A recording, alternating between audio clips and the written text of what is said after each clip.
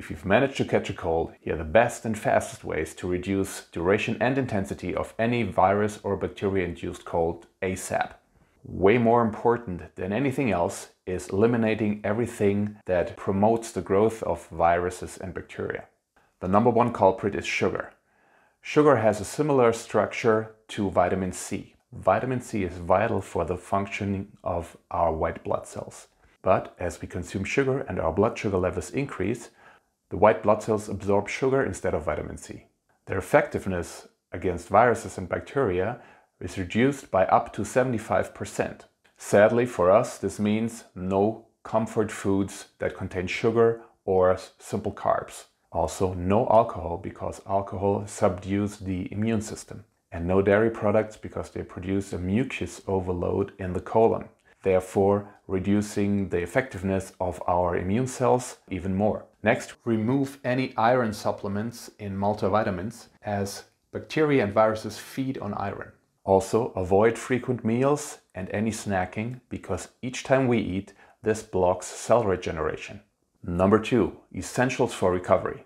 The most important thing we can do right when we catch the cold is start fasting, at least for 24, if not 48 or more hours. Why? When we're fasting for longer periods of time, longer than 20 hours, our body starts a process that's called autophagy. This is a cell renewal process where old cells are digested and built into new ones and inflammation is decreased. It also increases the lifespan of T and B cells. T cells kill pathogens and B cells build antibodies to recognize future infections. Autophagy also helps to build more T helper cells, which help coordinate the immune response. Next, we need to support the gut flora, our microbiome. The reason is that more than 70% of our immune system sits in the gut. And this is also where our immune cells are trained how do we support the microbiome? By fasting, by consuming a vegetable-rich diet, especially with lots of fiber, and by consuming prebiotics and probiotics. Fermented veggies like sauerkraut and kimchi contain both. And if you want to add more prebiotics to feed your good probiotics, good sources of prebiotics are green bananas, any fiber-rich vegetables, and especially acacia fiber. Next up, one point that is totally underestimated, which is eliminating stress. This is especially important when we are sick because cortisol, the stress hormone, subdues our immune system. Therefore, if we are in a constant state of stress, our immune cells cannot work properly.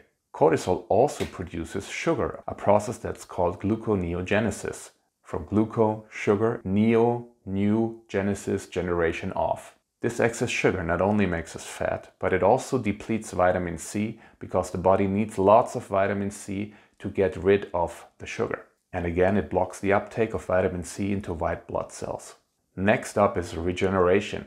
There's nothing more important than getting enough sleep and regeneration time when you're sick. Sleep increases the production of growth hormone, which is not only necessary if we want to build more muscle, but also to stimulate our immune system, mainly T cells and B cells. As growth hormone production is highest between 10 p.m. and 1 a.m., it's important to go to bed early.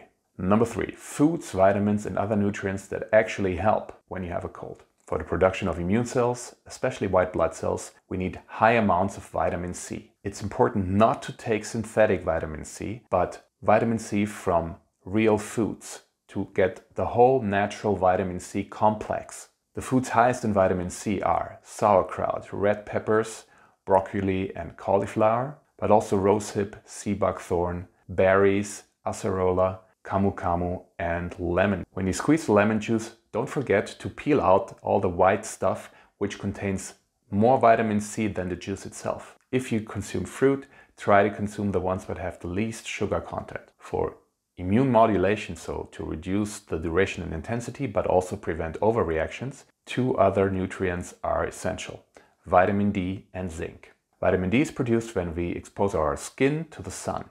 During the winter, or if otherwise there's not enough sunlight available, we can also take cod liver oil, which is the best natural source of vitamin D, or a vitamin D supplement.